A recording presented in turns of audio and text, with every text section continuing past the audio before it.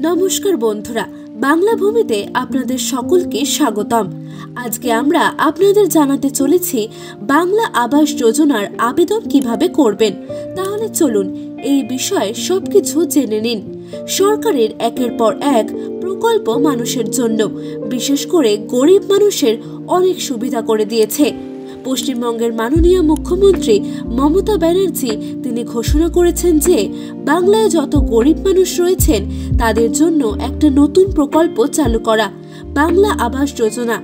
এই আবাস যোজনার সুবিধা হয় যারা প্রধানমন্ত্রী আবাস যোজনার বাড়ি পাননি। সেই সফল ব্যক্তিরা এই আবাস যোজনায় নাম নথিভুক্ত করতে পারবেন। এই বিষয়ে আরও জানবার আগে আপনাদের অনুরোধ, আমাদের চ্যানেলটি সাবস্ক্রাইব করে নিন। কারণ এখানে পাবেন এই ধরনের আরও তথ্য সব সময়। চলুন, তাহলে বিষয়টি ভালো করে জেনে নেওয়া যাক। বাংলা আবাস যোজনা কারা আবেদন করতে পারবেন? এই বাংলা আবাস যোজনাতে নাম নথিভুক্ত করার জন্য যে বিষয়গুলি খুব গুরুত্বপূর্ণ, সেগুলি হল আবেদনকারীকে পশ্চিমবঙ্গের স্থায়ী বাসিন্দা হতে হবে। যাদের পাকা বাড়ি নেই তারাই শুধুমাত্র এই প্রকল্পের জন্য আবেদন করতে পারবেন।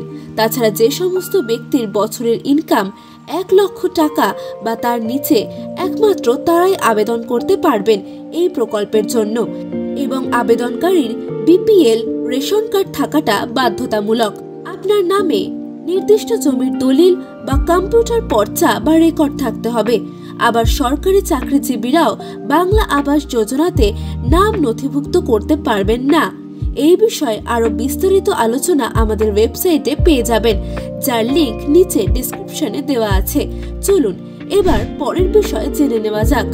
বাংলা আবাস যোজনার প্রকল্পের সুবিধা। এই প্রকল্পের আবেদন করার পর আবেদনকারী যে সমস্ত সুবিধা ভোগ করতে পারবেন এই প্রকল্পে আপনি সরাসরি ব্যাংক অথবা পোস্ট অফিসের অ্যাকাউন্ট একবারের জন্য আর্থিক সহায়তা পাবেন।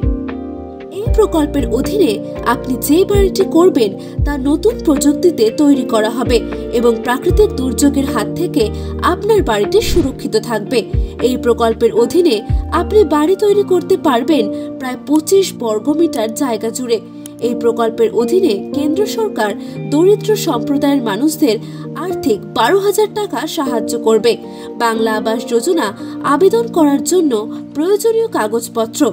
আপনি যদি বাংলা আবাস যোজনার জন্য অনলাইন অথবা অফলাইন যে কোনো পদ্ধতিতেই আবেদন করতে চান, তাহলে আপনাকে কিছু ডকুমেন্টস এর দরকার পড়বে। সেগুলি হলো আবেদনকারীর আধার কার্ড এবং প্যান কার্ড।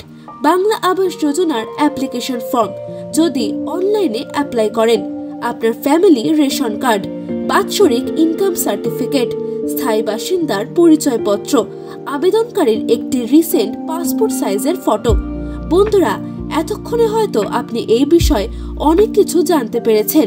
এই বিষয়ে কিছু জরুরি তথ্য যা এখানে বলা সম্ভব নয়। সেগুলি আমাদের ওয়েবসাইটে দেওয়া আছে।